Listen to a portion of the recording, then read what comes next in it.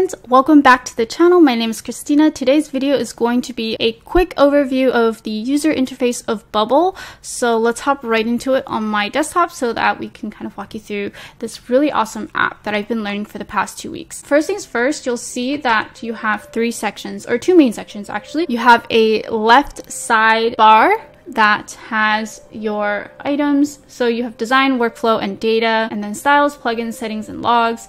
And then you have this larger panel that is also on the left that has what we call elements. And elements are these individual items that you can place on the page to kind of design out your page. So let's quickly walk through this interface. Um, you're only going to use, for the most part, the top three items here. So design, workflow, and data. Design is whatever is on your front end. So it is whatever your users are shown, are seen, or are shown when they are on the page. Workflow is whatever is time. It's anything that ties the design to the data. So workflow allows the app to work and have functions, and data is basically everything that is involved in terms of any information that you want to save in your app. So come back to design. And most of the time you'll be in this layout trying to place things on the page and every time that you want to do something or place an item on the page, you have to click on that item. So it doesn't matter if you're doing two buttons consecutively, you have to click on the button right before you want to put it on the page.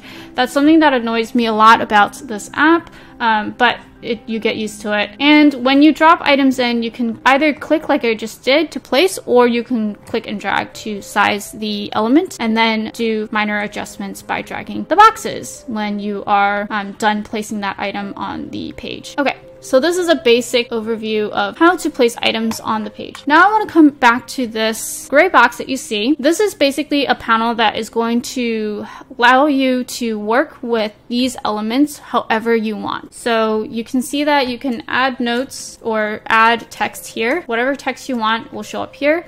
You can also insert dynamic data. So dynamic data is basically any type of data that is based on the data in here instead of just static. So static and dynamic is different. And then you want to make sure you always, always name your elements because if it's all button E and F, you won't know which one it's referring to when you are getting ready to tie your data to your design via the workflow. So you just want to make sure that you name every one of these by typing in a name for the, the element. So to show you what this is, let's go ahead and click on this item and go into the workflow.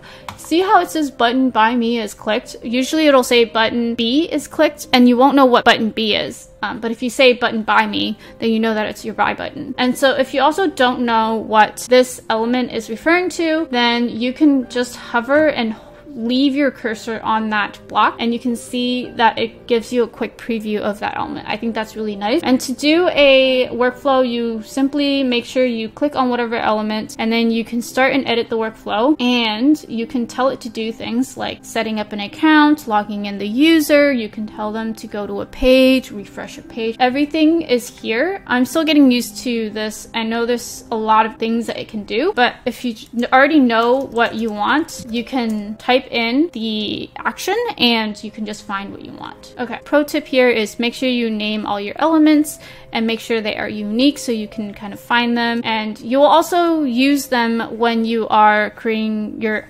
workflows within the gray dialog box. So it's just helpful to make sure you name these. And we talked about this and this. This is a page kind of navigation for your builder. So you can navigate to any of these pages and you can also have reusable elements. So these are elements that are um, things that you can reuse over and over and over again. So that's why they're here. So you can just add them to your page every time. So things like your header, your footer, anything that you want to kind of appear globally, that's where you want it to be here. Here is the issue fixer. So if you have any problems with your app, if you miss inputting something, they will give you a little notice this is issue. You click on this and then you can click into that and it'll take you to whatever is not working. And then once you have something selected and it's valid, the issue will go away. So that's really nice. And here you'll also see a preview. So this is whatever is here will show up in your preview. So you can see that it is the same here and here and that it is very, very, um, what you see is what you get. If you need to install more items, you can click on install more at the very, it's the very last option for each of these sections, right? So you can just install more. Um, one quick caveat for this is the more you install, the heavier the app gets, which means the slower it can become. So you just want to make sure you pick the items that you definitely are going to use within that app to put into the panel. And data. Data is it's its own kind of uh, video, but a quick overview is this is where you create all the data types that you're going to collect and work with. So the first three things that you'll actually work with most are data types, privacy, and app data. Data types are basically you creating all the fields that you want to collect and if you want to do that, you just simply click create a new field, add the name of your field. So let's say I want to do last name